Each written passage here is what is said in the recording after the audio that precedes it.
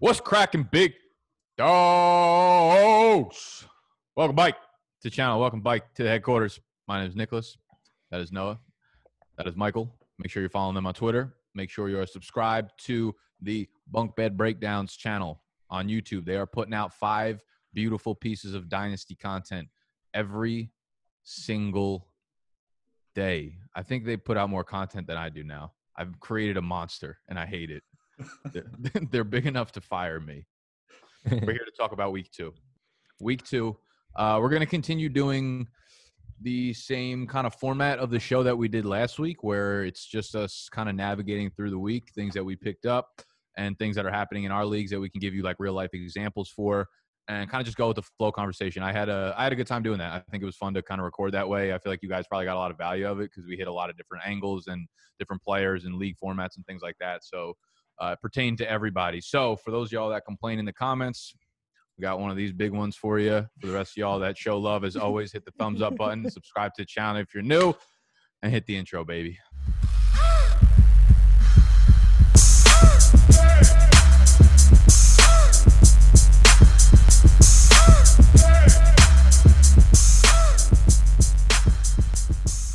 All right, listen, guys. It was a it was a guys. It was a fucking rough week.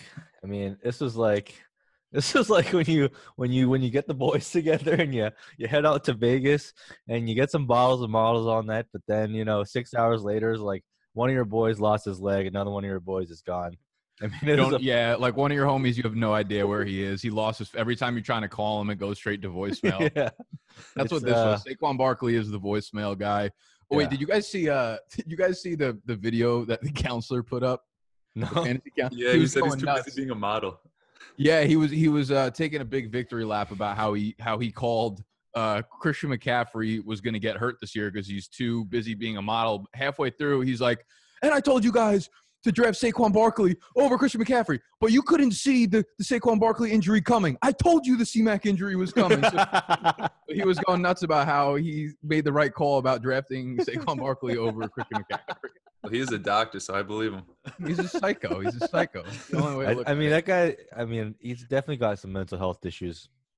Uh, hundred percent. goes Uh, without saying. Yeah, he's, yeah, he's one of the boys you bring to Vegas. yeah definitely but uh look i mean it was brutal like this i i think this has been the most brutal year for injuries like ever but not just like injuries like injuries to stars right like we didn't just lose Saquon Barkley we lost Saquon Barkley we lost Christian McCaffrey we lost Michael Thomas like those are three of the Lost top Tyrod three Taylor. I mean, the list goes on.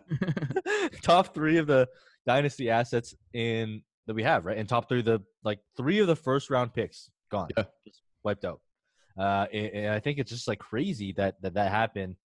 And you know, it kind of goes back to like I think you know Ray Ray tweeted this, but like NFL players are like creatures of habit, you know, and their their habit was disturbed this season because they didn't have any training. Well, they didn't have much training camp. There's no preseason. There's barely any contact football and the fucking hamstring ACL snipers business is booming. So Someone's down mean, on it is right now with an ACL tear. I could see it. I don't know who it is. Hopefully, it's Taysom Hill. I didn't- Hill. I, I didn't mean that. Just, uh, Uh, no, but for real. All right, listen. So if, if you're if you're this is a dynasty show. So if you own uh if you own CMAC, obviously you're not doing anything with him because it's you know four it's a Yeah. high ankle sprain, four to six weeks.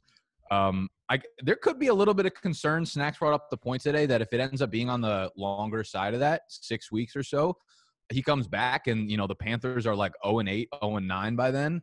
I, I I'd put it at like a five percent chance that they shut him down for the year because that's just so long of a time period for CMAC to agree to do that. Yeah. Um, but like, yeah, I guess realistically, you're not really doing much with CMAC. But for Barkley, like we, we us three are in a dynasty league together where I, I took Saquon at the 102. Yep. And that league, I also have like George Kittle and I have Kirk Cousins just put me up a fucking neg. So I'm not looking. I'm not. I went against Scott this week. He's in a rebuilding mode, and I put up like, Oh, yeah. I put up like 45 points against him because my entire I had Julio going too. So my my entire fuck you, Mike. I don't like how much you're laughing this episode. I don't think I've said a word other than me like laughing so far. So no, so in that league, Mike, I was actually gonna see if uh, this is a, this is a good co- uh, topic of conversation right now because I'm looking uh, to see what I could do with Barkley. Like he's not necessarily someone I'm looking to sell, but Yeah. I want to see what's out there in the waters. And obviously, you're more on the rebuilding side Yep. than anything else. And I'm like, is Barkley a guy that you where your team is at? Like maybe we could do a little uh, trade negotiations live Yeah, yeah. on air here. What No, do you I think mean, about I- Barkley? Uh, no, no, I'm, I'm not gonna bullshit. Like I just put out an episode um, on this on Market Watch Mondays talking about Barkley and Dynasty and how to how to deal with them. Okay. And like obviously you take like a bit of a discount, but like I mean Barkley's still Barkley, right? It's an ACL tear. It's not an Achilles. Uh, if it was an Achilles, I'd, I would change my tone a little bit, but it's an ACL tear. Um, and it's still like a, he's still a top, you know, top three, top five running back, right? Like no matter what. So I'd say you'd still probably try and get something in that range. Like I actually don't have great running backs in that league, but dude, I was talking to Noah about this earlier. I hope Alvin Kamara like just gets has a pretty muted uh muted week because I'm gonna beat fucking animal. I started I started Corey Clement in my running back position, put up a zero. so if I feed animal this week, I'm just gonna screenshot and put that shit up on Twitter. That's Um, beautiful. yeah, Animals yeah, having a, a rough sled of things right now. Going to be 0 2 in E Town. To be 0 2 and go fade me. And Yeah. ass with fucking Corey Yeah. Clement. I mean, it depends what you think. Like, I haven't, I don't remember that's your team, but I remember you drafted a pretty fucking baller team. So if you're like still really going for it, um, like work some quarterback trades. Right? Like I have like four quarterbacks. So it'd that's what I was thinking, like, the quarterback. you know, we we talked about it a little bit on Fade the Public. Like if I'm if I'm looking to move Barkley, it's either going to be for a shitload of picks or it's going to be for a guy like DeAndre Swift or uh, J.K. Dobbins, and then probably plus some because you know the team that's getting him that has those guys is probably not looking to compete right off the rip. But like I already have DeAndre Swift, so I like the pieces of my team a lot. But without a guy like Saquon, I don't know that I'm a, a competitor really for the championship anymore. So at this point, it's like I can keep him, but like I don't know. You know, you have to look at it. Saquon, do we get the full Saquon back in one year, or do we not get Saquon Saquon for another year and a half or two years? And it's like becomes a messy situation because now he's a guy who continues to get injured. And is he going to be plagued for his career for you Mhm. know this stuff? And um, I, I don't know. Like that's why I don't know. It's just like a, a crazy conversation to have right now with all the injuries going on. I The other mean, thing that worries me too is like, do we even know Daniel Jones is going to have a job past like 2021, 2022? this guy is not good in real life. He turns the ball over way too much, and I know he's had a few tough matchups, and he's got a few more uh, coming soon. But he hasn't like really been good at football since that first game where he got thrown in against the Bucs. Yeah, I uh, I, I asked Snacks this question too because he was like, "What happens if you know the Giants go the Giants and the Jets, both New York teams, like if they're top five picks, top three picks, like do they pass up quarterbacks?" And he he's trying to be objective about it. He he actually does like Daniel Jones, and I think it's still too early to really put the feeler out on DJ in this sense because you know like Josh Allen, we knew he was going to have a really big start to the year. Maybe not as, as big as it is, you know, up to this point. He's looked really fucking good.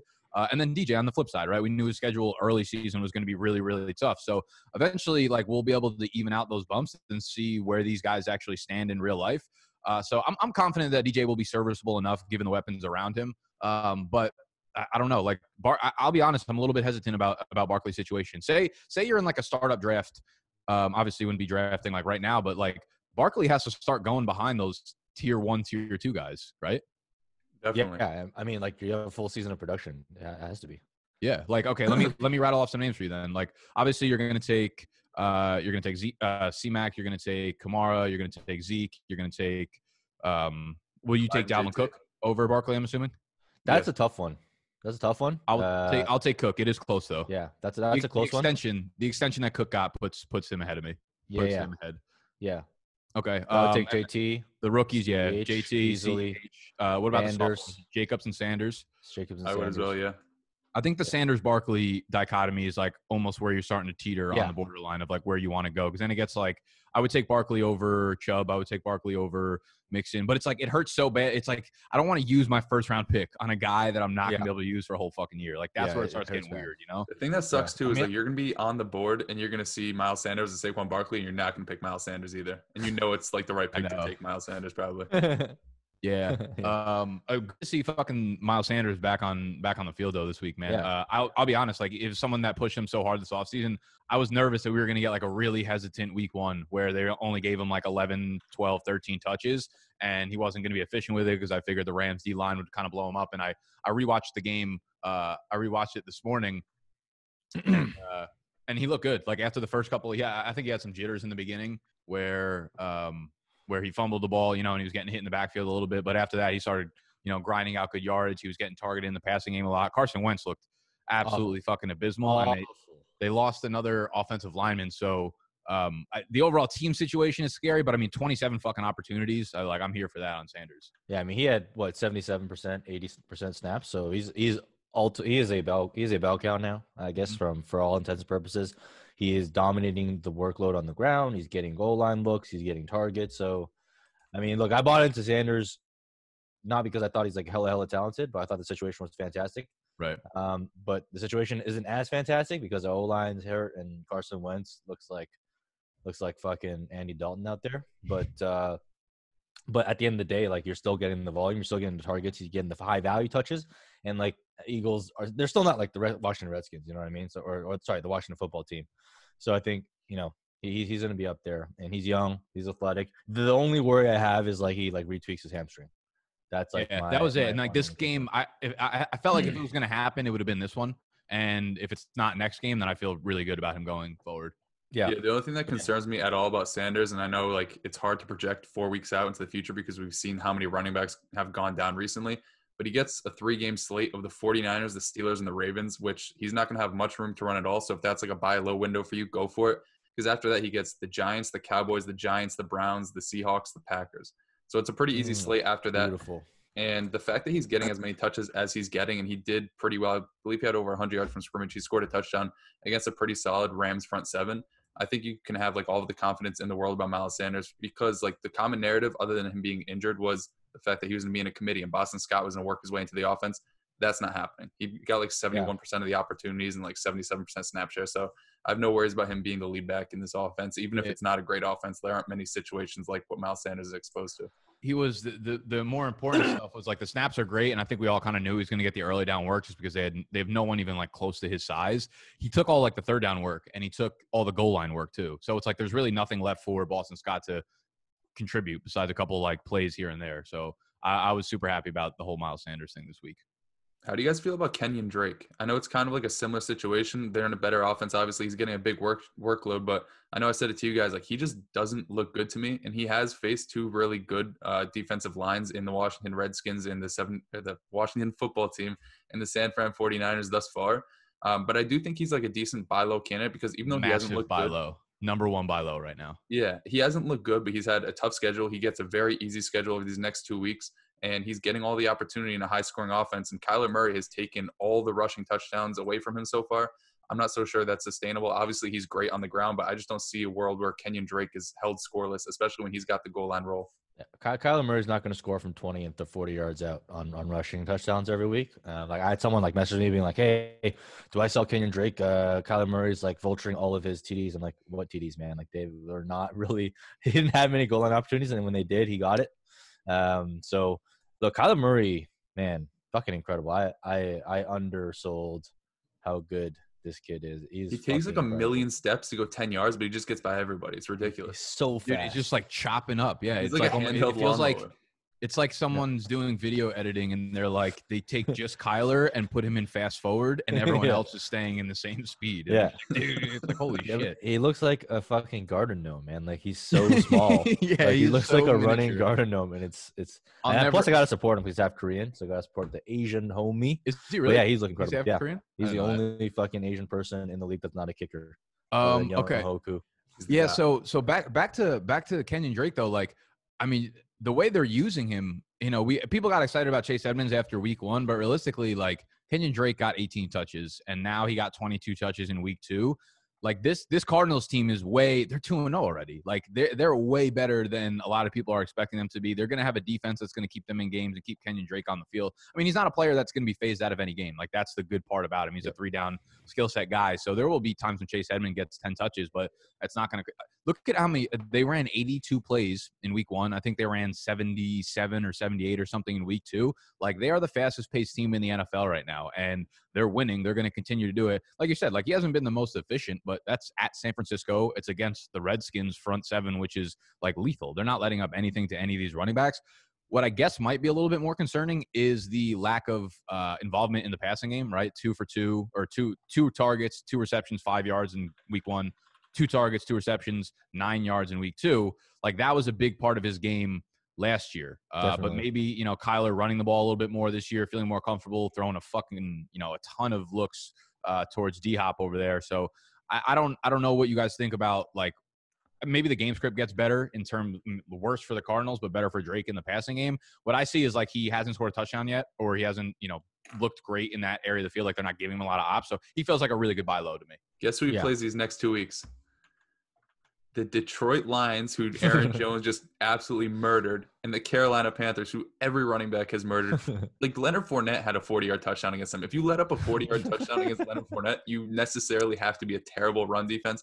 He's going to tear him up. And as you were saying, Nick, with the passing game involvement, I don't have the passing blocking snaps in front of me, but every time I watched them play, it seemed like he was out there as an extra offensive lineman, just picking up a guy coming off the edge or through the middle. Maybe that has to do with the type of pass rushes that they are facing and the fact that they're about to play Detroit and Carolina isn't to help him to get more involved in the passing game. But uh, he is a good receiver. That's basically all that they used him for in Miami for some reason. So I have no hesitation to say to think that he's going to end up with like 50, 60 receptions on the season, even though he's starting off slow in that department.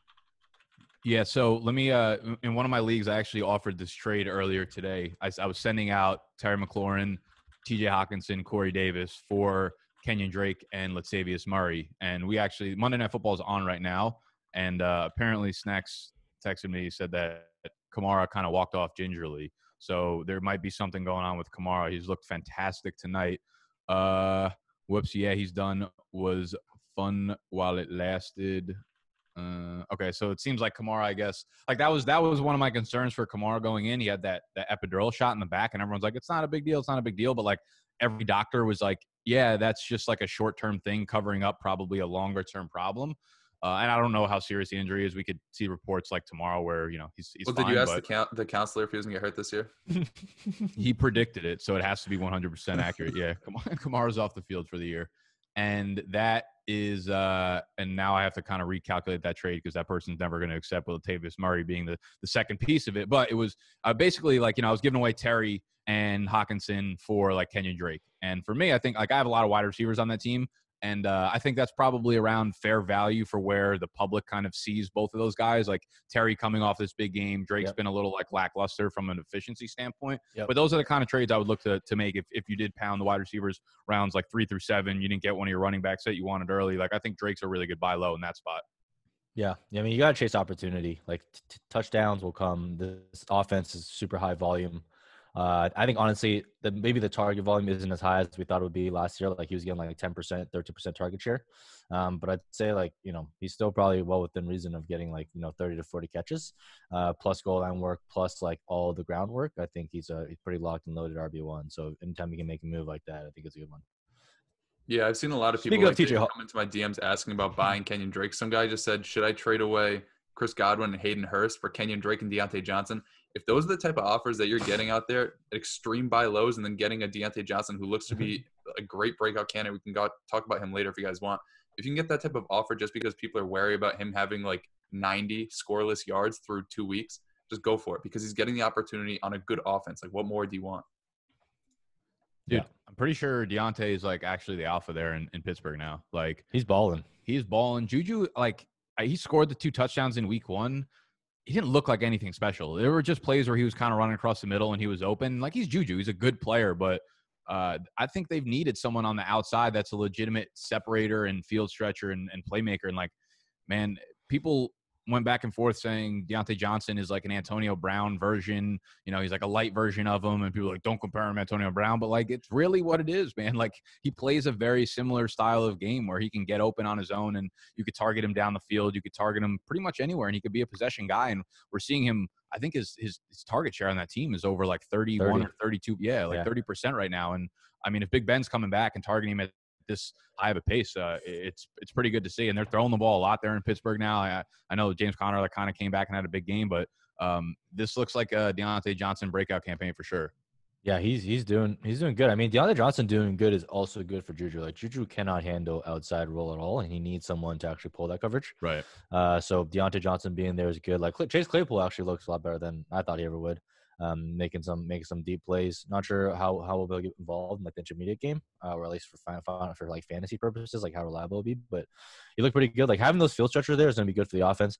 They, I mean, their entire fucking O line is like on IR, so Uh, that's not going to be good for the running game. Uh, probably not ideal for the passing game either. But hopefully, it, it leads to more higher volume passing, um, passing game script. So, yeah, DeAndre Johnson is definitely having a good breakout. Uh, he started off pretty cold though, right? I mean, like the fumbled, like the fumbled, um, what was it like kickoff or or, or punt or something like that? return, I then, think. yeah, but he's definitely been picking it up, and you know, hopefully he stays healthy. That's like that's like the main concern there with him. But if he stays healthy, the Pittsburgh offense is rolling. Um, that means wheels up. Yeah, 23 targets over his first two weeks. Two of his next three games are against pretty big pass funnels in Houston and Philadelphia. So it the sky's the limit for this kid. I mean, we were all like pretty big fans of him coming into the season. I know there was like all those models and metrics speaking about how he's going to break out this year because he had 600 yards in like 12 games or whatever. But he legit looks the part of like a wide receiver one. He's like, I guess, kind of like a Stefon Diggs, where he's not built like a wide receiver one as you would expect, but he's really good at separating and he's extremely good after the catch. And if we want to talk about Stefon Diggs and like the most underrated wide receiver 1A, 1B combination in the NFL, it might be what the Bills have going on right now because those guys just get open. They're very fast, which is I've heard is pretty good for a wide receiver to be. And Josh Allen actually looks good because I know he's had two very easy matchups, but his guys are just always open. He just got to hit him in stride, and that's what he's been doing so far. Yeah, Dude, Josh like- Allen. Did we get out? Did everyone get out on Stefon Diggs too early in Dynasty? Like, did we fuck up? yeah, definitely. or, I mean, are we like, or is it too early into the season with these really good matchups? Because Diggs has looked fucking. Diggs and Allen have looked like the real deal. Yeah. I feel like Diggs every single year puts up like 300 yards for the first two weeks and then does nothing until week nine again. So we can be like a little bit wary, but he just that connection looks legit. Diggs has never been like talent has never been an issue with Diggs, right? It's always been like volume, uh, and, and, like in, in Minnesota. Like the one time he did get volume, like he put up a wide receiver one season, and like he always smashes like easy matchups though. Like yeah, he does. He's every one- he's time, of those like- guys. if he's off the injury report and he has an easy matchup, you can basically lock him in for like a top five wide receiver performance. It's like that's always Diggs. Like he's he's boom bust, but he's so predictable in his boom busting. And like you know, I, it's like, dude, I've been hating on Josh Allen for a while because like I didn't think he's very good. Um, but I was thinking about it, like you know, it was kind of like the same story arc as Lamar Jackson last year. Everyone's like, oh, Lamar Jackson sucks. He can't pass. Uh, like all he, all he does is rush. Obviously, I'm not trying to compare Josh Allen to Lamar Jackson as a as a rusher, uh, but like very same story arc. Like they both started off blazing hot against like pretty weak opponents, but like I think at the end of the day, you're still playing an NFL team, and when you dominate to that degree, like I'm still going to give credit where credit is due. And I think like Josh Allen is absolutely balled out, and I underestimated the effect that having Stefon Diggs would actually have on him. And like if we look at like the way they're using him, he's he's using them like much more in like the intermediate range because like Diggs can work. He's a deep ball specialist as well, but he can definitely work the short intermediate. So him having Diggs as that outlet option has been pretty fucking huge. And Diggs is a beast when it comes to contested catches. So Josh Allen doesn't even have to be like that accurate. He kind of just has to put it in the vicinity. So I think they're a pretty good, pretty good match. Um, I'm excited to see what happens if if Stefon Diggs stays healthy. Like he he could be in line for a you know high wide receiver two, low wide receiver one season pretty easily. I don't even think Diggs is the reason why they're passing so much. I think it's because Zack Moss is so bad on the ground that they have no other option. I mean, he's averaging like two yards a carry out there. yeah. Did anyone retweet? Uh, anyone retweet that that tweet of the um when Ball Blast was like, oh, you, oh, you guys would take these guys over Zack Moss, but he had six fantasy points when the rest of them had like that was just such an ignorant fucking tweet. I wanted people to like retweet over like quote tweet it. That's what you, that's that's the right Yeah. fucking terminology for. We should go back and do that afterwards. But like Diggs, man, I'm pissed because like beginning of the offseason or when that trade happened, I remember the bunch the first bunch of pods I did, like I was ex- everyone was like shitting on it and I was like, dude, I feel like this is I remember I'm I might go back and fucking pull a bunch of clips and chop it up and shit. But I was like, this is the first time Diggs is like gonna be the alpha in his offense. Like the, regardless of quarterback or regardless of what you know the other situation around it. Like he's always had Thielen there who's operated as the alpha, no matter who's on the outside or who's on the inside. I was like, Diggs could just roll into 130 or 140 targets, right, and just be the alpha because Yep. he's the most talented guy on the field at any time in, in that Bills offense. Uh, and then I moved away from it. Like the more I thought about Josh Allen, and I was like, ah, you know what, like this is not going to be good. We'll see if they can kind of like mesh together again. It's it's a it's a wide receiver going over to a new team, but like this looks awesome. I I also don't want to get too far ahead of myself because this is something everyone said. We're like Josh Allen's gonna be really good for the first half of the year, and uh, we'll see when they start playing some really good. Um, some really good matchups, but like John Brown, respect the fucking John Brown, man. All he does is all he does is take the haters and fucking eat off that shit. He's he's just a baller on the outside.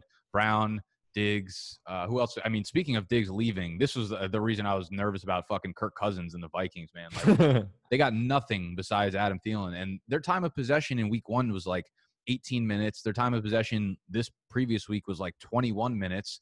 They don't have the ball ever. Like Kirk looked so bad. This team legitimately might be in the running for one of the top quarterbacks too. Like, what do you do with the Vikings pieces right now? Dude, It- it's just think uh, in the bag, so I don't know if they're gonna be able to pick one. What'd yeah. I mean, oh yeah, yeah, true. Yeah, they they, they paid him, uh, and like he has a lot of guaranteed money.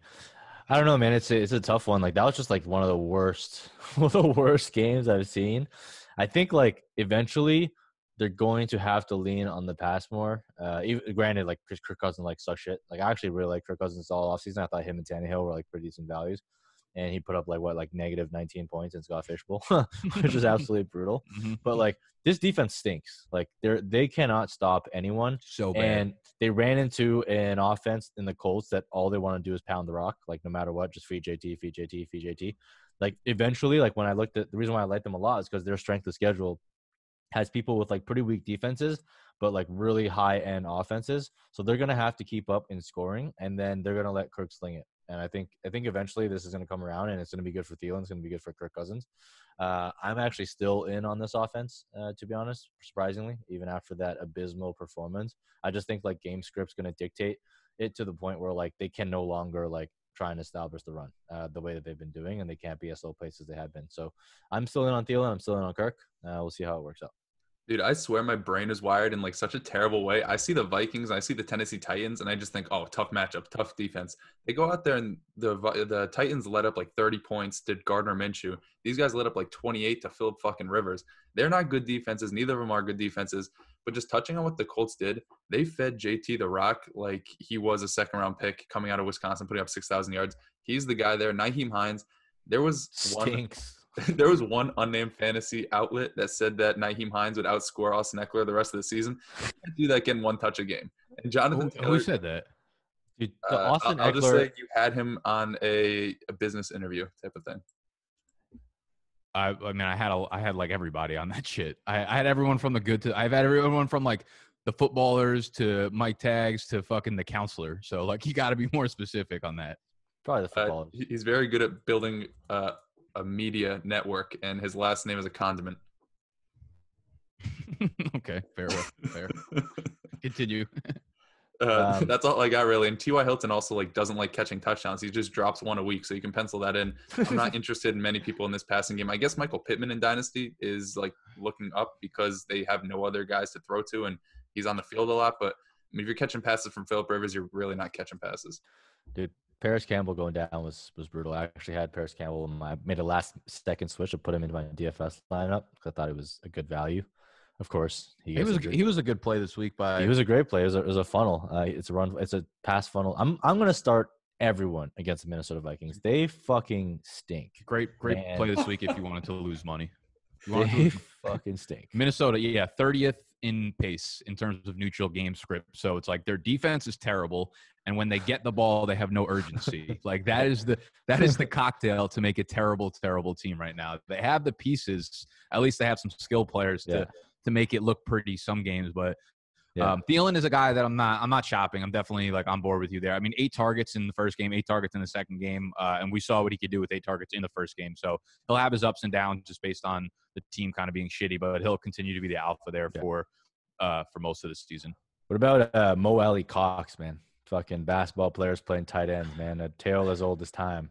Five catches for 111 yards. I don't know about you guys. When I was watching him, it looked like he was running in fucking slow motion. I had no idea how he was putting up numbers because it looked like he looked like he was running in glue. So I mean, he runs a four eight, so he's, he's not very fast. I like uh, Mo Alie-Cox is a guy that I'm not really about to give too much airtime because like if you sprinkle out like the Mo Alie, the Mo Alie-Cox airtime over the last like four or five years of doing fantasy football, it's it's way more than he's more airtime than like career receiving yards he has in the NFL. So like I don't fuck Alie-Cox. yeah. I want see how uh, old he so is. I that's feel like he's yeah, he's 27. I was about to say he's like sneaky 30 because it seems like he should have been breaking out for the past five years. He's like the new and improved Vance McDonald, and he finally had a hundred Yeah. yard game, and everybody's like patting themselves on the back. Jack Doyle is Jack Doyle hurt? Uh, he was hurt. Yeah. He was hurt. Okay, and Trey can't Burton's on the IR, right? I mean, Trey Burton. Trey Burton hasn't stepped on the field in forever. So Yeah, but like Trey Burton might low key be better than Mo Alie-Cox. So. maybe I don't know. But I, know. yo, I know but the- Darren Waller is better than fucking all of them right We- now. we- He's just laying wood. we Darren Waller. Remember, remember when people started fading Darren Waller because they drafted two fucking rookie wide receivers? He was too good. I was just like, you They guys are Jason just Witten. like, you you- never know. People just make make dynasty and make fantasy so much harder than it has to be. This guy's had one of the best seasons ever. He's an athletic fucking freak. He's like he's going to be the team's top receiver again. But before talking about Darren Waller, we talked about this last week. Jonathan Taylor versus Clyde Edwards-Helaire. We love to see the fact that they are now have equal footing. I think you know week one, Clyde Edwards-Helaire jumped out in front with his massive workload and a couple touchdowns. Week two, we saw it, man. Jonathan Jonathan Taylor, workhorse in college, never got hurt, durable, workhorse in the NFL, and you're seeing that translate. Ch was still getting some volume. He actually got a pretty beautiful uh, catch pulled back because of penalties. Uh, so that got that got taken off the board, but it was actually a really nice play by him. So I don't know where, where are you guys at? Where are you guys at in this like Ceh versus Jonathan Taylor uh, type of thing after seeing Jonathan Taylor in his in his uh, new role as the workhorse for Indianapolis Colts? They've been flipped. I put out two tweets tonight where I said uh, if I was doing a, a rookie draft starting today, here are my top 12 picks. And I did one for redraft, and I had Taylor above CH in both of them. I had CH above Taylor just because I this was going to be CH's season for redraft. And again, I value the year that we're in a little bit more than JT, but like JT's got, you know, he, he JT is what we thought he was going to be in 2021, but like right now. And what this weekend was was not like a product of game script or like some kind of fluky touch split or whatever. Like this is what we're going to get from JT weekend. I, I get like a million trade questions a day about JT, and I'm just like, I see JT, and I'm just like, yes, like that side. there's nothing that there's almost. I think I think I had JT as either the 104 or the 105. If I'm doing a redraft league right now, there's um, it was uh, Zeke, Kamara, Henry, and then maybe JT right there at 104. I'm like, there's there's almost no players that I would take over Taylor. I mean, like what 30 touches now? Like Yeah. that's going to be like a normal weekly thing for him. Yeah. Yeah, at this point, I'm not even sure I want Derrick Henry over him. And I know that's like common narrative for me to say, but he hasn't looked good. Derrick Henry has gotten all the touches in the world, and that offense is still efficient, but he hasn't looked good. And I, I don't think we should just like brush over that point. I think it might be the O line, man. The O line is a little bit of a concern because they were like took a hit. really good at run blocking, and then they lost. uh Who they they lost uh, Conklin, Conklin, and then and then their first round pick like got hurt, and then I'm pretty sure got like a DUI like last week or two weeks. So like the tackle that was supposed to take over for him is not really in there making an impact. And the uh, uh Tannehill's look great, and Mike, I, I took him in E Town Get Down because of you as like my second QB, and he's been absolutely fucking murking it for me. Um, yeah, but but it's came at like the detriment of Henry's getting the volume, obviously, and he's going to continue to. But like, this is also kind of how he started off last year, but the opposite. How he was just like scoring on the one yard line like 40, 42 times a game, and now he's not getting any of those. So I, I do think we we'll still see Derrick Henry probably finish with like double digit touchdowns. So I'm not really worried about it. But like JT, like we just need we're going to get one of those runs from JT soon. We're going to get one of Yeah. those 75 yard breakout runs, and it's just And like it's over. and then and then the one on one conversation start up. You know what I mean? Like that's Yeah. all we're waiting for for that shit to happen. Yeah. he- And on the flip side of that. Tennessee game, can we talk about Gardner Minshew just being an absolute boy? I tweeted out that if he's not a top 15 quarterback, I'm gonna get a mullet. I think even as a top 15 quarterback, I'm getting a mullet either way, and I'm trying to grow out a mustache. It's real, it's real suspect right now. Yeah, But this guy's a fucking animal, and I love watching this team. If you were to ask me at any point in my life if I was excited to watch the Miami Dolphins play the Jacksonville Jaguars on Thursday Night Football, you would think I would be crazy to say yes. At this point, that might be like the best game of the season. I just can't wait to see. it might be the best game of the season. Calm down. Next time we're gonna fucking turn the video thing on. You're gonna be in a fucking trailer. this is a green screen. You don't know what's going on back here.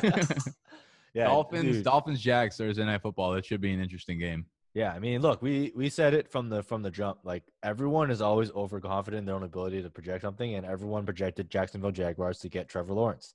And we said, what happens? What happens if Gardner Minshew is better than people expect? And what has he been? Better than people expected. Where did So you get him? You drafted him in Dynasty, at least. He was drafted as if he was going to be a one year rental. So we said, look, there is literally zero downside to this. He's already getting drafted as floor.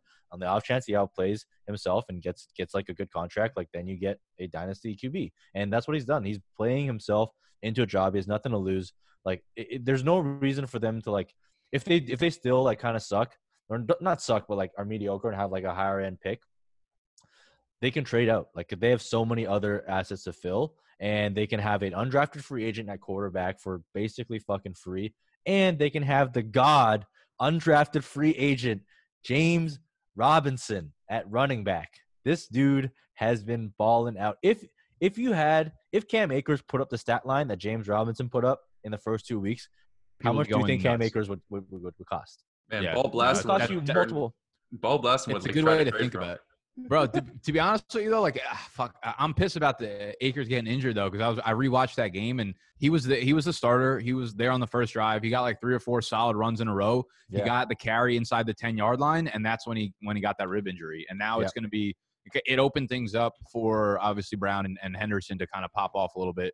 Um, and I felt like that that was the mojo Akers needed to like get the rookie Yeah. season going a little bit, and that took it out. So now it's gonna, you know, it, It's gonna it, suck. it's- it sets him back a little bit. I think it's gonna be a pain tolerance thing with him, and he's probably gonna be limited to like 25 percent of the snaps for the next couple weeks, which Yeah. which uh, peels it back. But yeah, that's a great way to it's a great way to look at it because you know once the season starts kicking in, like ADP goes out the door, and you can't. You, you do have to prospect wise. You, there are a lot of things that you still have to take into account. Like uh, that tweet I put out when I was like redoing the top 12 rookie draft picks. I put Akers at like the 108 or 109 or something, and someone was like, "You still have Akers in the first round," and I was like, "Listen, his size, his speed, his athleticism, his draft capital, not going anywhere. He looked fine, and they clearly want to make him the guy, but like."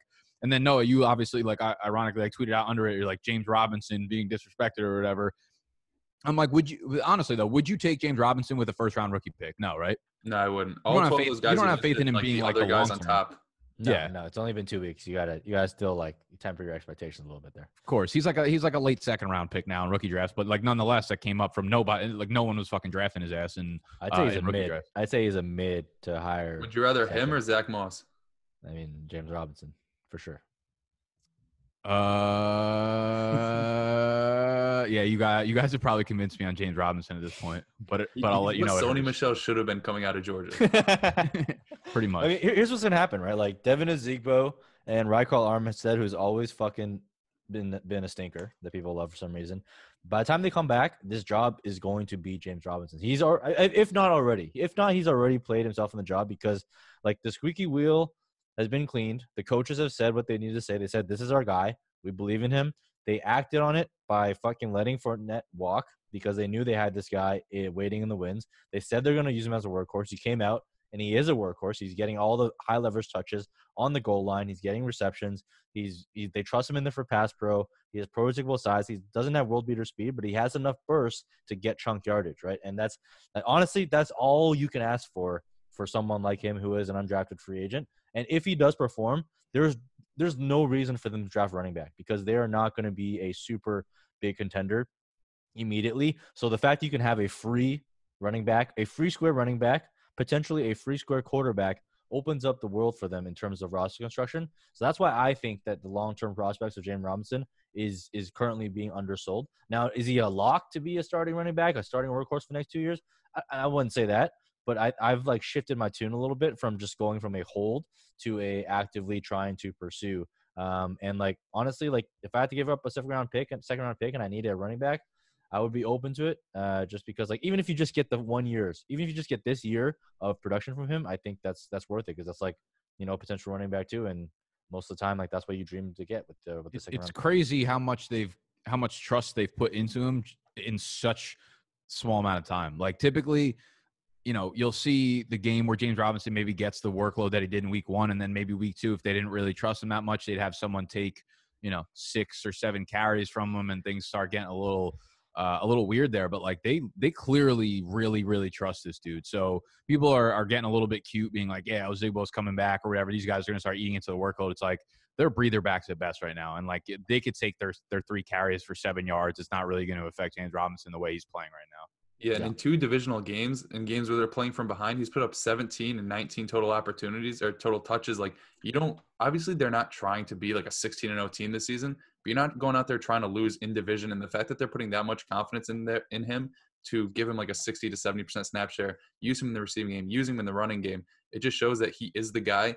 And if there was anybody on this roster that's going to steal his job, it's Chris Thompson because Jay Gruden and him have like some crazy love affair that spanned the last 10 years for no reason. So if he's if he's not taking his job, nobody's taking his job. And also, I think the running game is also helped out a little bit by Laviska. Josh Jacobs is hurt. Shenault. No. Yeah. Also, uh, Alvin Kamara is not hurt, by the way. Oh, Alright, He's good. back on the field. Wait, what happened to Jacobs? Josh Jacobs limping off the field. Hamstring Goddamn. potentially.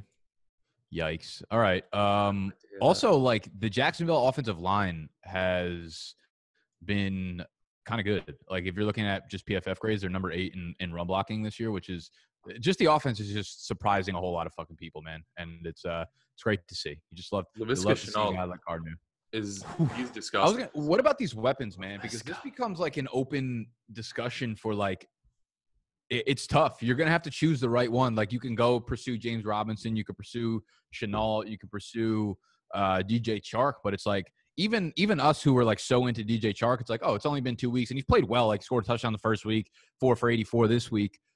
There's still like a little. I, I'm feeling a little bit of hesitancy now, but I feel like there are, are weapon, legitimate weapons that are taking away from his share of the pie, and like Chark might not be like the clear alpha that we thought he was, right? I mean, Keelan Cole's making a fucking comeback for the ages. Keelan Cole is leading the team in target share too, Yeah. like 18%. Ch- Chark's really not seeing a, Yeah. a big piece of that pie. I'm still all in on Shenault. He has looked fantastic. Um, by all by all accounts, in terms of carries, like this guy does not go down at all. Like no, if he's a fucking animal. Be- like there these guys cannot tackle Laviska Shenault and he has looked incredible as a rookie he's been pretty efficient so i'm still all the way on board with Laviska Shenault um especially but if, but if like someone sent me an offer today dj chark for Laviska Shenault, i don't know what the fuck i would do to be honest with you that's how much i love Laviska Shenault. really? in Yeah, dynasty I in dynasty with Chark. No, no, of course. I would uh I would probably take Chark. Someone's trying to get uh Laviska Shenault for me right now. He's like, just name your price. And I'm just like, well, if you're one of those dudes who are just telling me to name my price, like I could probably oversell the shit out of him. But he's offering me like N'Keal Harry for Laviska Shenault straight up. And I'm like, like, dude, we have like a two year sample size now of N'Keal Harry, like not being fucking good at all. whoa hold on let's not disrespect N'Keal Harry That was dramatic and way in front overstated. of like, Shenault. just trying to make a point. I, i'm with you though i would not give up Laviska Shenault for N'Keal No. Harry no way no, jose not now. uh, just given how how efficient he's been as a rookie and just what we've seen, the way they're using him. I just love everything about it. Um, but yeah, I mean, pivoting to the New York, uh, new, new, uh, sorry, fucking New England Patriots. Favorite team. Harry, Harry's getting volume, man. He, I think Cam, Cam is really, really good for Harry because Cam cannot throw down the field. Uh, with the exception of that beauty he threw to fucking Julian Edelman, who dropped it, motherfucker. Dude, but he made a fucking phenomenal catch down the field too. Like Oh yeah, I mean, dude, I, I'm not gonna put that loss on Jules because they're only there because he made some fucking baller ass plays before, but that one hurt. That last Um, play, dude, was like really uh incredible. Like the like eh, you knew the whole country was watching and everyone knew like they lined up and you're like, okay, Cam's getting the ball, Cam's gonna run it up the middle. They're either gonna stop him or he's getting in. This is that was like one of the most exciting plays that we've seen in football in a long time. That was fucking awesome. One of the most exciting games. Period. Yeah. That was a fantastic game. I could not believe we were in a position to actually win the game uh, after like after that lead. But look, the Patriots. Everyone left this offense for dead, right? They thought there were no pieces here for sure, and I think we're seeing like, I mean, in terms of running backs, still fucking fade that shit. But you can get the running back one in Cam Newton. Cam Newton has been fucking unbelievable, right? He's the current QB three overall, uh, pending Monday Night Football. I don't think either guy is to actually exceed him. So he's the QB three overall through the two weeks. He was a late round QB target. I remember in dynasty startups, fucking Noah sniped me in fillet, but in every other league, like every time I got to the tenth round, Cam Newton auto smash. That was before he even got signed. Because like this is the type of upside that a player like that possesses, and he's peppering uh, N'Keal Harry with a lot of targets. Now N'Keal to- has to get a little bit more efficient. Uh, part of that's on Harry, part of that's on Cam because he's like in those short to intermediate throws. Cam's not really hitting him in stride at all, so it's kind of like he's struggling to kind of get the yak. But if they kind of get on the same page, I think they can be a pretty pretty nice duo. Uh, I think he's a great match for for Cam. He's and Harry's a great match for Cam, and Cam is a great match for him just in terms of their stylistic of play. Cam's not afraid to throw in a tight window, so I'm excited to see how that plays out. No, say what you want to say over there. I know you've been you had a joke cooking up for the last fucking No, five it's, it's not even a joke. I just remember that pick so vividly because Yannick and I share a team in there, and it was like the ninth round. I'm like, we're going Cam, and he just wrote to me fetal. So I took Cam Newton. and my tripled. favorite thing in the world. We always do that now. Like every every morning, you'll have at least three texts that just say fetal. Yeah, it's like 4 a.m. fetal, and I text him back. Always like, fetal. What the fuck is fetal? It But just the- means like you're like ravishly hungover, like and you're in, you're in the fetal position. you wake up, you say fetal, and everyone knows you had a bad night last night. And then he traded up into the 11th and he took Jarrett Stidham. I'm like, all right, whatever. We'll take a look at that one. That's so was probably in good. like a Uh, three week fetal position. But yeah, Oh, Cam man. Newton looked like an animal. He's basically discount Dak Prescott at this point. He's just running in every single opportunity from inside like the five yard line. And I know you said he can't throw down, downfield at all, Mike, but he's still looking like he can actually kind of sling the rock, which he couldn't. He do looks at fucking early sharp last- intermediate, man. And that like last yeah, last night's game, it was like the opposite of every problem we've had for Cam uh for most of the years. He's he's usually a little bit erratic with those throws, but like they have looked good. dialed in what they need to do with Cam and he looks good over the short and intermediate. I just like don't know if the game their game plan lends itself to to N'Keal Harry, but maybe that's good. Maybe like not putting too much on N'Keal Harry's plate right now is like going to help him develop a little bit better over the long run. Maybe Yeah. I'm just like fucking making shit up right now, but I don't know. Like I like how the offense is rolling, and yeah, I, I have a lot of Cam and redraft, and it's uh it's been a phenomenal investment. Yeah. Also, I don't think that they're going to be in many game scripts where they're like trying to play catch up all game because Russell Wilson is just one of one. He's what does he call himself, Mister Unlimited? He Yeah. is. He might have been underselling himself. Yeah, yeah. they might have been. Under- He Hold on, let, let's talk about DK Metcalf, bro. Just absolutely fucking fathering Stephon Gilmore on that. Dude, team. that was insane when I How saw that. many? How many? He's. I mean, he's a legit wide receiver one in dynasty now, right? Like you have to be drafting in the top yeah. 15 minimum. I, I like just Yeah. locked up with Wilson for the next fucking Yeah. next. I mean, let's bring back the discussion we had in the prior bunk bed breakdowns. Calvin Ridley versus DK Metcalf. I mean, you guys had you guys had DK Metcalf. I had Calvin Ridley. I mean, it, it- that that discussion is going to rage on all season long. I mean, Calvin Ridley is going off. Holy but DK shit. Metcalf is eh, DK Metcalf. We know we can see like what what he can be, especially Yeah. in dynasty. Once he really takes over that true role, like I don't think Calvin Ridley has the upside like down the line. But man, from a fantasy perspective, fuck, that's a tough. dude a it, it's like ima- but flip, imagine flipping their situation like okay imagine just flipping the, the reason i like metcalf more is because the ceiling is really really really there like he has the julio type ceiling i think he's not as refined obviously a Lockett ceiling. They're yeah, but- basically just like flipping the wide receiver one. the, the way receiver they're running their routes now and i was looking at it on like nfl next gen stats it's literally just like lockett just going like this just going like this across the fucking field like just doing jabs and metcalf like boom boom boom boom boom every single play and it's like basically Atlanta runs two times as many passing plays every game as Seattle does. And like that's why I feel like Ridley's really popping off statistically. But for the long term, I don't know how much you can buy into that. Cause like how, how much longer is like Dirk Koetter gonna be here and Dan Quinn gonna be in Atlanta? Like they should be hopefully gone by the end of this week, but they're not gonna be. But you know, it's gonna be the year probably they'll see it out. And then what happens if they fuck up and bring in another head coach that you know just just sucks again and that's probably going to happen and i don't i don't know like ridley looks fucking awesome but as long as julio's there i'd probably still prefer metcalf I, Yeah, I I think wanna- I think Julio being there is good for Ridley. Like I, I honestly believe that. I think Julio being there is what opens up all this opportunity for Calvin Ridley. Uh, I mean, he's going to be the wide receiver one overall for this week. yeah he is he looked the definitely part is. too. Yeah. The thing Uh, is, like, I don't want to discount any t- type of touchdown, but I think like two of his four were just like wide open. The cornerbacks on the ground, but he's also like a really good route runner. He's going to find himself in those situations a lot, and he's done that the past two seasons. So I'm not discounting that at all. As for dynasty, I mean, it's a three-year age. It's a three-year age gap. Calvin Ridley's basically 30 at this point, which is 25, and Russell Wilson's younger. He's locked up for a long time. I don't know. I just DK Metcalf just looks so good out He there, does. and like He I don't does. know. He I'm looks like incredible. speechless. He's just an animal. he looks like a real yeah like he, in my eyes he's gone from just this athletic specimen to like a really dominant football player like he looks really good at the wide receiver Yeah. position Even I'm that like curl route that he ran, and then he just turned up field and like put Stephon Gilmore into a baby stroller and like pushed him down the sideline. Like that was absolutely menacing. He should Yeah. not do that to a grown man. Yeah, dude. I mean, it was incredible to watch. When I saw him like burn, any anytime someone like makes Stephon Gilmore look foolish, I pay attention. That's why I bought in on DeVante Parker after last year. I was like, holy shit, this guy just fucking took Stephon Gilmore to town, and, and DK did that. And the fact that they even had Gilmore on DK tells me a lot as well, in just terms of like how Bill sees it and how how the defense sees him. Like he- he's going to be incredible. But Tyler Lockett, we cannot discount Tyler Lockett because he is also incredible. Just if they continue to let Russ cook, I mean, this is a this is a low key potential for like two top performing wide receivers on the same team that we did not see coming. lockett's going to go six for 75 until like 2029 the next nine years you got six for 75 in your wide receiver two spot Don't don't worry about it. Yeah, Lock is just a, a, you don't have to worry about his longevity because he doesn't like do anything that's crazy that would put that in danger. Yeah, Yeah, he'll get this a is touchdown every other game. this is really reminiscent of that Super Bowl where it was like Doug Baldwin, and then they got that guy Chris Matthews out of Foot Locker, and he put up like 110 yards and a touchdown. That's like basically the wide receiver one and two in there now. what else? What else we got to talk about? We got uh, dude. Do you guys play DFS? I No. tried. Oh, dude, I played. It was a good week for DFS for me. I went five for six. Uh, I usually cash.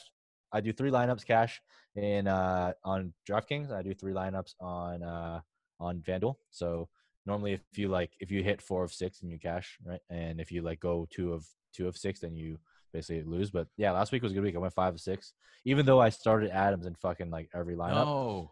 But the savior was I started Mike Evans over Amari Cooper, who was the chalk for that week. Um, so that saved me. But yeah, man, you guys should get in DFS. I'm I'm starting to like DFS more than I like season long, to be honest. Damn. Um, I just fuck my free lineups and people. but how about uh? Wait, in the in the what it do league, I just realized I had the Waller Carr stack, and they put me up 54 points right now, and I came back and beat Scott. Oh shit! yeah, never mind. We're not selling Barkley. We ain't selling fucking nobody. Don't don't send offers. No one's on the. I just declined your. Leonard Fournette for Saquon Barkley trade too. God damn. Wait, but wait, no, but if you're competing, that means you want to. Yeah, I know. I realized as soon as I said that, it didn't, it didn't make sense. I was just excited. I was like, what the fuck you talking about? That's epic, dude. I, f- Yeah. I, I think I might be. Uh, I think I lost my Scott Fishbowl matchup, but I'm. I'm. I think I'm like fucking 14 and one or 15 Oh, and one wow. here in my leagues. Yeah, we're fucking. Like we're shit. down by like 0.6 in the listener league because he has Josh Jacobs. No, motherfucker, dude. Damn That's it. tough. I want Someone just ran in a touchdown. I think J- Jalen Richard or some fucking nobody took a touchdown. Really? Yeah, That's It was huge Jalen because Richard, I'm. 20 yard run. it was Richard. Yeah. Uh, that's that's huge. Um, dude, I'm actually doing I'm doing hot in the Scott Fishbowl, man. I'm I'm two and zero. Yeah. Uh, yeah, I got. Uh, let's let's check out my lineup here. I got Patrick Mahomes, Ryan Tannehill, obviously crushing it for me right there. And then I got Kareem Hunt, who went fucking ham this week. I picked up James Robinson off the waiver wire for like 11 bucks before week one, so he's going ham for me. Dude, Yeah, I forgot to put in my fucking waivers. I, I always forget to put in the waivers in Scott Fish. I wanted I wanted Robinson and just didn't put anything in like a fucking GG, asshole. bro. Yeah, and then I got J.K. Dobbins. I got uh, a couple of like other fringe, oh Cam Akers, and then some other fringe running backs, and then I had Julian Edelman put up a fucking ham week for me. Uh, Tyler Boyd went pretty well too, and they got Mark Andrews and Dallas Goedert. I think I have a good chance. My team's like pretty my- set up. Yeah, we we we slapped in week one and then uh fucking uh I had George Kittle, Chris Godwin. So whoever I was going against put up like over 200 points. So I didn't really have a fucking chance this week. But I have Diggs on that team. I had Oh, nice. Hunt, Chris Carson, Antonio Gibson for like a 14th rounder. But you know what fucking killed me? It was Kittle round one, and then I went like Brees and Brady. I was excited about getting them early, so I think they were like two of my first five picks. And I just and I I got Minshew in like the 11th, and he's been by far and away my best fucking quarterback. I haven't been playing him at all, like a fucking asshole. Just poor management. That that's why I don't like the Scott Fishbowl because like it's it's like the the, the league I pay least attention to, and like it, and it shows. It shows really fucking quickly because you have to make best ball? moves. No, it's not best ball. It's a it's a managed team, and like the scoring is so fucking odd that like you have to pay attention to what you're Yeah. actually doing to to do well in it. yeah, you definitely have to pay attention. Um, I don't even like setting my lineup in my home league, so I can only imagine. yeah, how you doing in your auto drafted league? it's, it's real rough for me. I had Will Fuller put me up a donut. Mark Andrews with like nothing. Joe Mixon and Kenyan Drake, they're doing like the little handshake emoji, like just garbage in between them. Like it's real, it's real ugly. I'm 0 2 for like the first time ever, I think, and I I think that just dictates that the computer is not as smart as as I am. I think that that's a that's a good spot to end it uh, for this week. Hopefully, you guys found some interesting nuggets in there. We're going to keep it casual going forward in this episode, but we got big facts coming in the main channel on a weekly basis.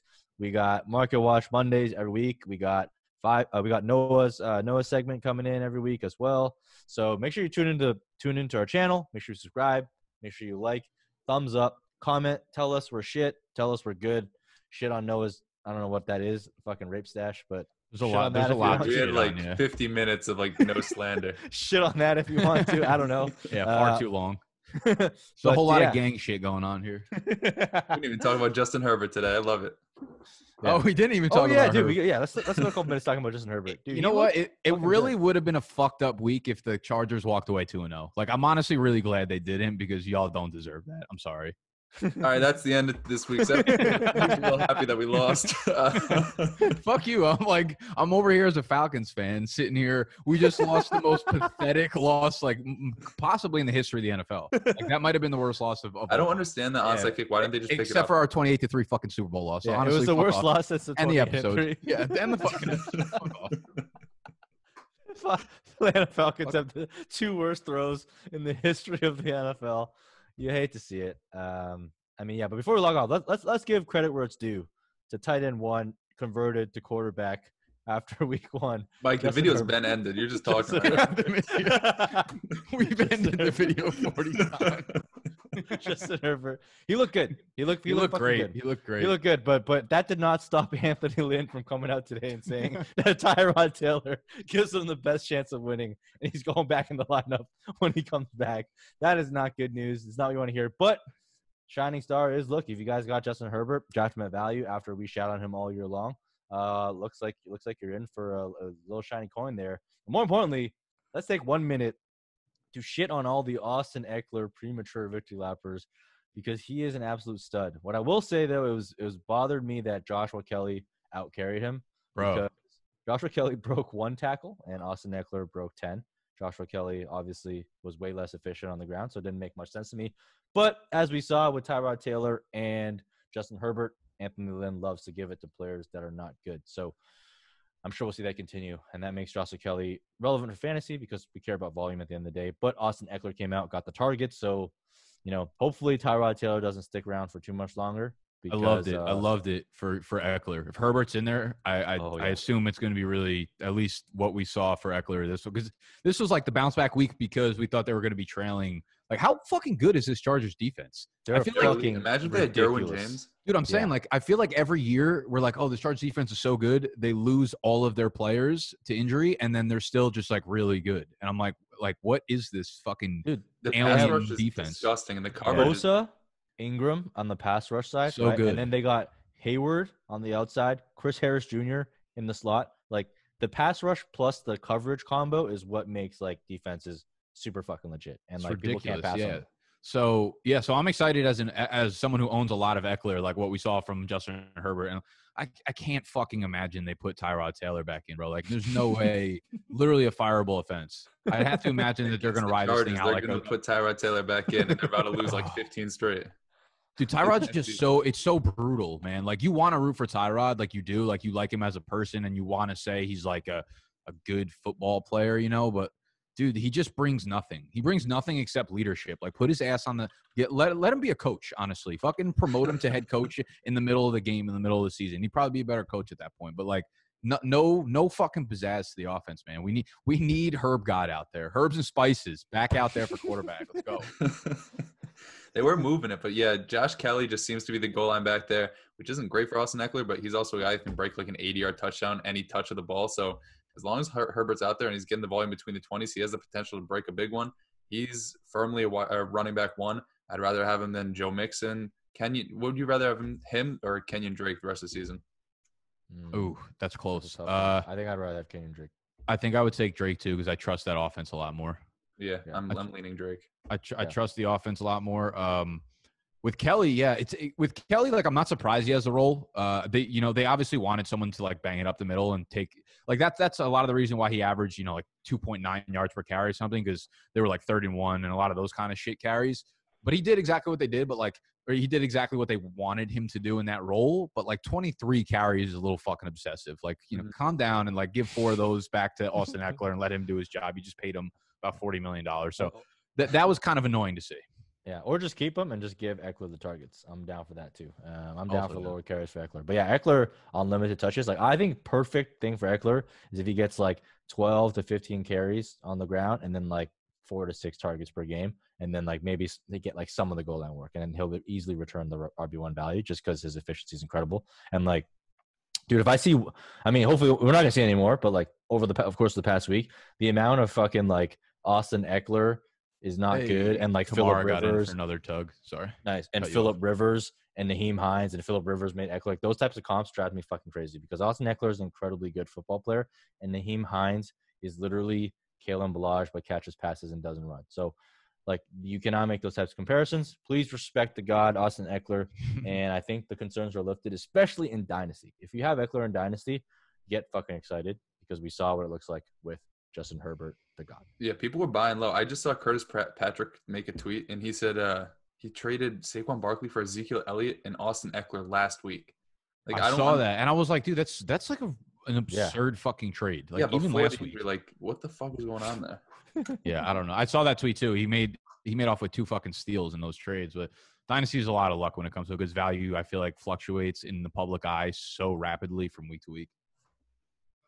Let's finish. Let's actually finish. All right, that's all we got for you. Hope you guys enjoyed. No, Catch no, you. we don't need that bullshit outro. Just fucking cut it. right, let's fuck you guys. Fuck everybody. Again, just how we began is how we finish. Peace.